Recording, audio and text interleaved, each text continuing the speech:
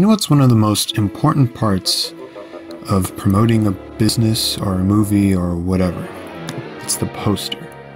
And a lot of famous movies have really good posters, like the classic 1979 Alien movie with the oozing egg, or we have the really nostalgic Star Wars poster.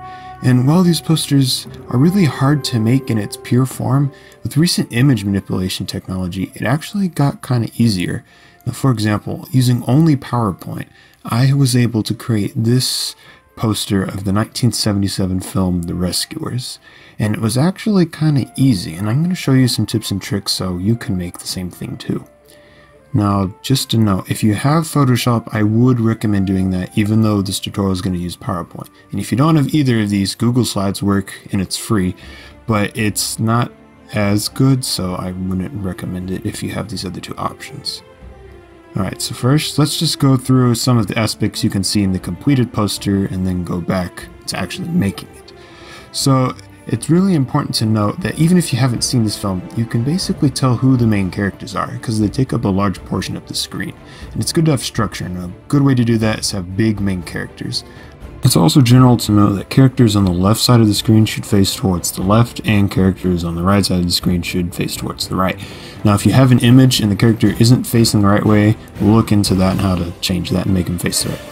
It's also good to have this axis of symmetry where you either split the main characters or the color scheme or both in my instance. Alright, now let's get into some PowerPoint tips. Now, this isn't a full-fledged tutorial on PowerPoint, so definitely get to know it first, but mainly we're just going to be using the Remove Background tool, which is found in the left corner of picture format, and you'll be able to select certain aspects of pictures or remove certain aspects to just get your desired effect. So this is really good for, well, removing the background, obviously. Alright, so the other tool that we're going to use is corrections here, picture corrections.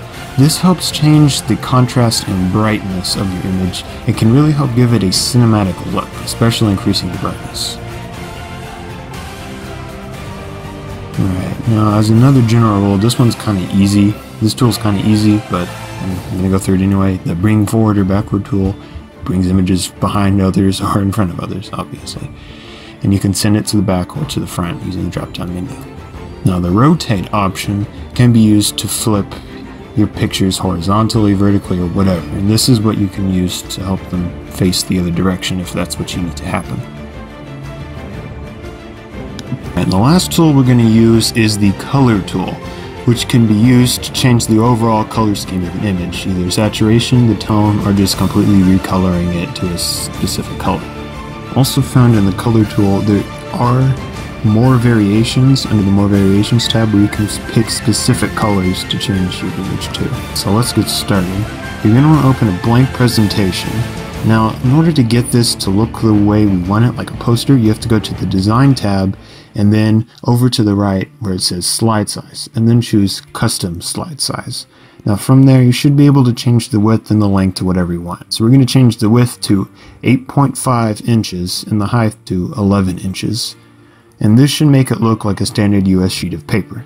And then click Ensure Fit. Alright, so now what you're going to do is click and drag to select the text boxes and then just delete them. So now we have a completely blank slide ready to be filled with whatever the heck you want to put in it.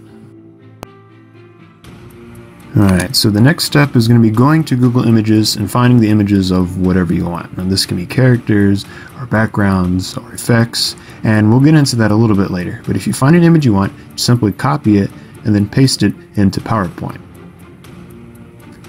And then once it's in there, you should be able to do pretty much whatever you want with it. Now it's good to note that if you're making a copyright free poster or you're trying to make something that'll actually get you money, you're going to want to go to the Tools tab, and then that will bring down a drop-down menu called Usage Rights, and you're going to want to select Labeled for Reuse. This is going to pull up a bunch of copyright-free images you can use however you want, and you can still get money from it.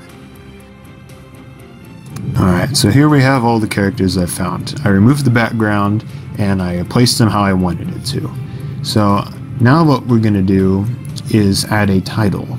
Now, it's good to add your title and your tagline early on because once you fill up the poster with a bunch of stuff, it's going to be really hard to go back and add it in. It's going to feel squished.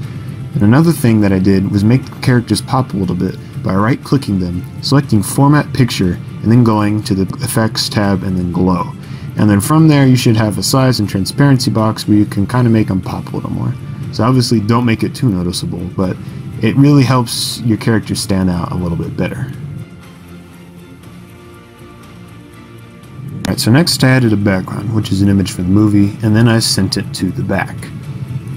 And now, since it wasn't quite big enough, I added a black box at the bottom and sent that to the back just to kind of fill it up. And we'll cover it up with effects later so it's not so rough.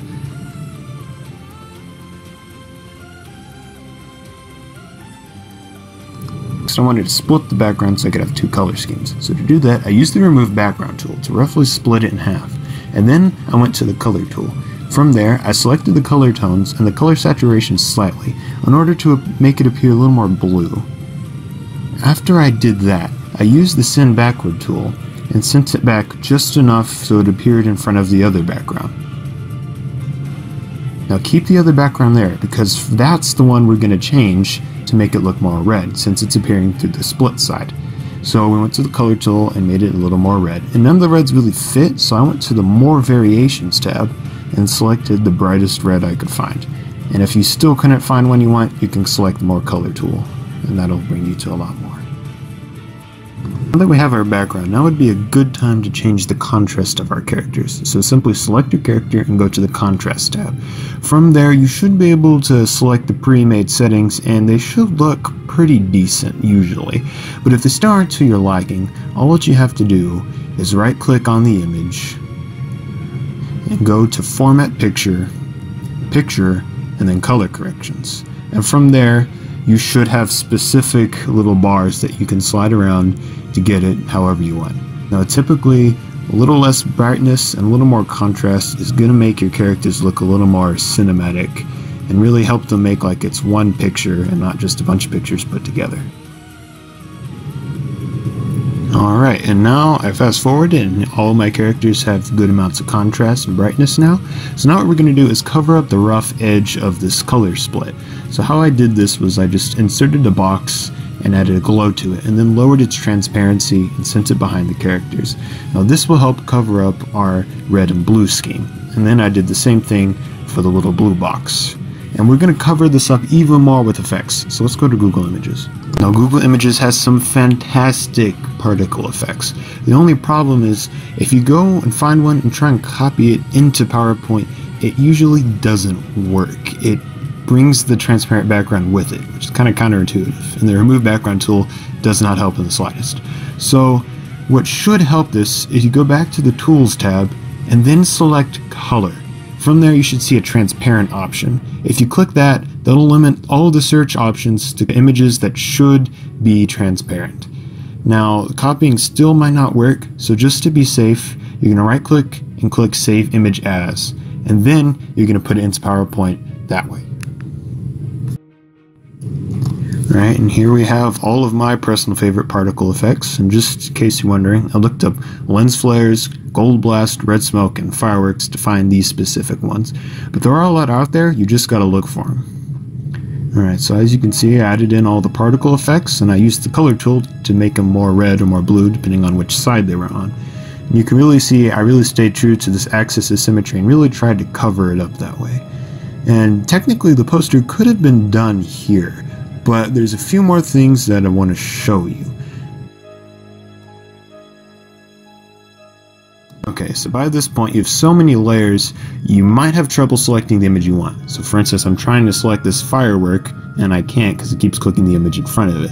So in order to do that, you could just spam the tab key, or you could go to Arrange, and then go all the way down to Selection Panel.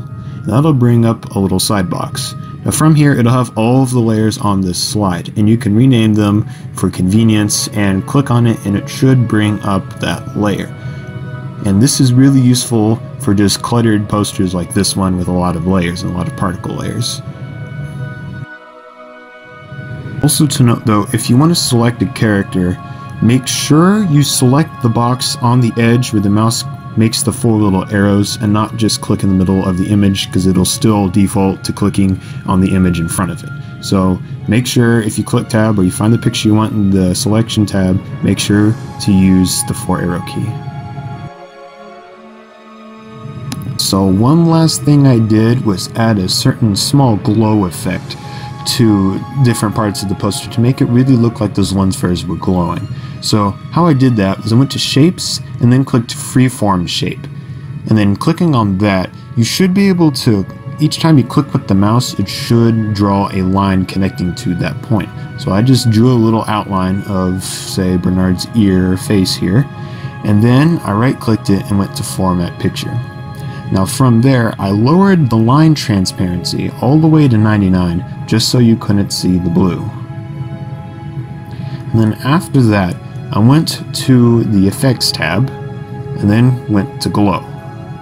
Now from there, I selected a gold in color and messed with the size and transparency a little bit to really just make it look like the lens flare was really shining on his face. And this is really useful just to help your picture all come together. And like I said before, make it look like one picture, not a bunch of pictures put together.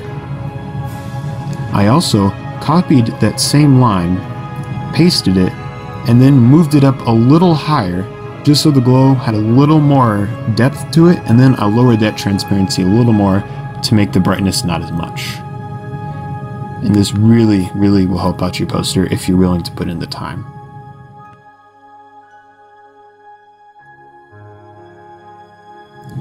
And that pretty much concludes the tutorial. Now just a few separate notes to add. Never get discouraged. Your poster is probably not going to look that great till the very end, as it was in this case. Just never give up. Always try new things. I was never very good at this at first. I've been doing this for a few years, so if I can do it, you can too. Trust me, I'm not very good with technology. So just do your best and keep trying it'll turn out eventually. If not with this poster, then with the next. And a lot of the great things about PowerPoint is it's pretty user friendly. So I really prefer PowerPoint to say Google Slides or maybe even Photoshop. And hopefully you can create some pretty cool posters in the future. So good luck and God bless.